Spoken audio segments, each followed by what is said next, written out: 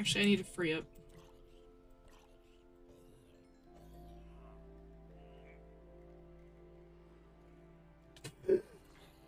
Oh my